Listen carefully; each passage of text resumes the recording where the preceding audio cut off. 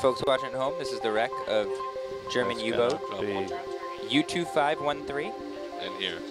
This uh, this wreck has been here on the seafloor for, um, sorry, since 1951, when it was sunk by the U.S. Navy in a series of exercises. Uh, ordered sunk by gunfire after six years in U.S. naval service, after just uh, actually only about a few months in German service. Uh, On the bottom right, uh, they're saying that it that's the hydrophone. Yeah. That's a nice shot. Just we pirouette got, on a, that. we got a little bit of tech in there on her. But pirouette on that. Cut that out. That's what he wanted. Okay.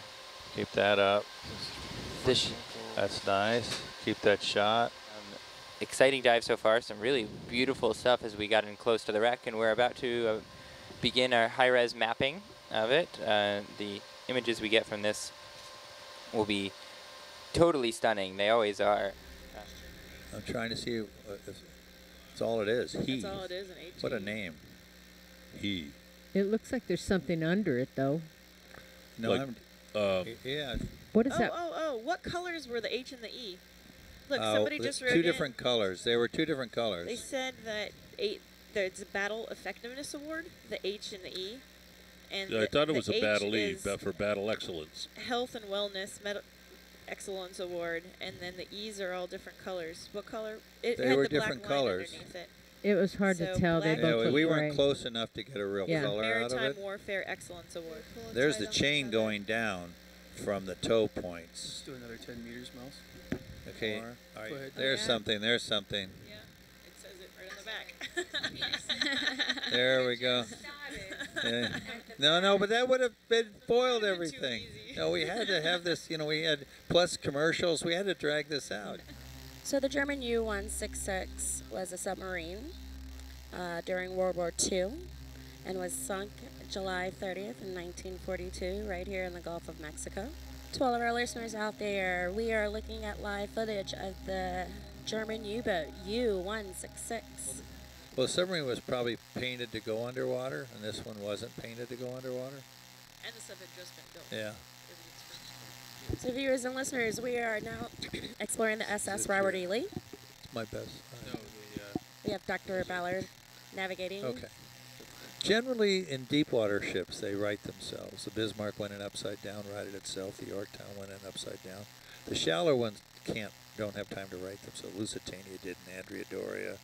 Any anything in shallow water, they, they don't right themselves. But deep water ones, about a 5,000 feet, like here, they right themselves.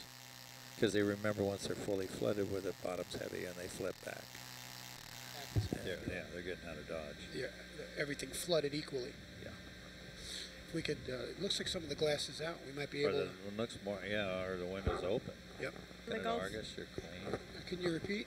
Do we have an estimate on how many Yeah. ships from World War II are in the Gulf? Square up on those Yes. windows and Uh, zoom in. 20, i- in 18 months, between 1942 and 1943, Germany sent 22 U-boats to operate in the Gulf of Mexico. Shut down the iris. Those little. 22 U-boats attacked 70 ships, of which 50 sunk and 20 were damaged so badly that many of them had to be, be broken up for scrap. Wow, thank you.